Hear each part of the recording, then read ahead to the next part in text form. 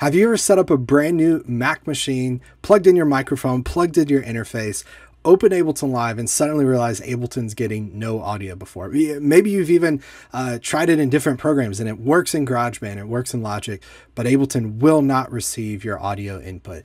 If so, stick around because I'm going to show you why and how to solve that. All right, so if you're like me, um, you've gotten a Mac recently in the past couple years, you've installed Ableton Live, you've gone to record, and Ableton's not receiving input, right? You've got your mic set up correctly, you've got your interface uh, connected correctly. You go into Ableton Live, it even sees your interface, audio input device, Universal Audio Thunderbolt. Everything's looking great. I even look at the interface right now and it's metering. I see the meters. Maybe you've even gone so far as to open GarageBand or Logic and it works in another program, but it doesn't work in Ableton Live.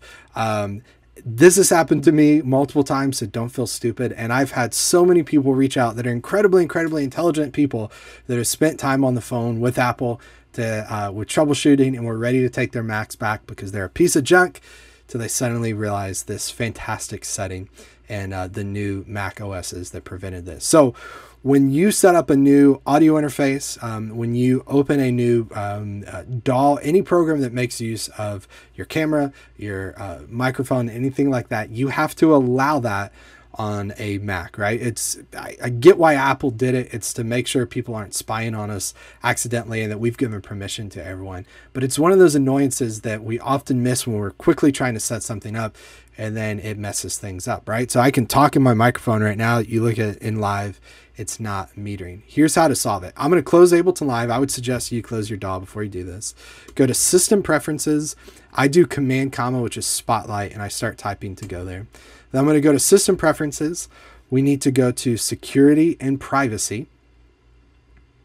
Right, and then we're going to go to the Privacy tab, which is all the way to the right here. And then we're going to go to uh, Microphone. Okay. Um, now, once I go to microphone, you might need to click this lock to make changes if you're not logged in or haven't done that recently. Um, and when you do that, right, it's going to ask for your password. So I'm going to do that now. Don't look.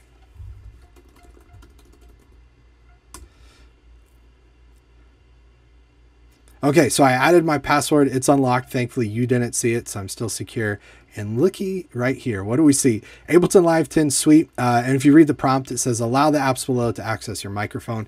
This is why uh, Ableton is not seeing my microphone. I click this switch here, right? And then I can click this lock to secure it. Now let's go back into Ableton. Okay.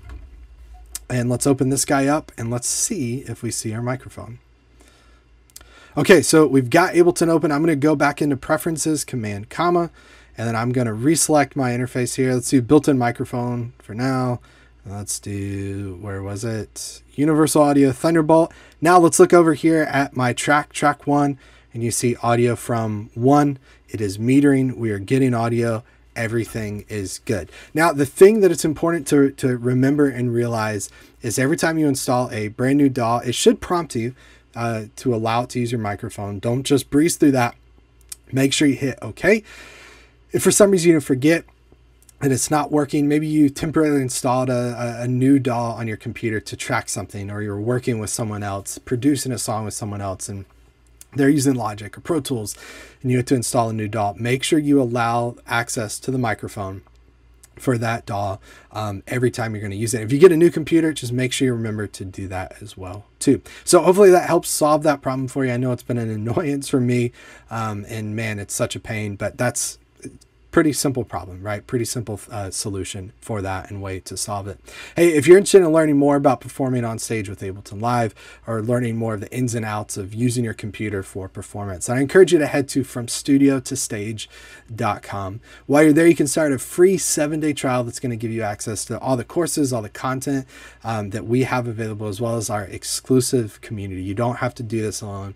You don't have to figure it out alone. Um, really, really great group of people that will help answer any question you have, as well as a monthly call where every single month we hop on and chat about using Ableton Live and all sorts of different things. So if that interests you, again, head to FromStudioToStage.com uh, and start a free seven day trial. All right, that's it. Thanks so much for watching. Make sure to hit subscribe so you see all our content, and we'll see you next time. Take care, everybody.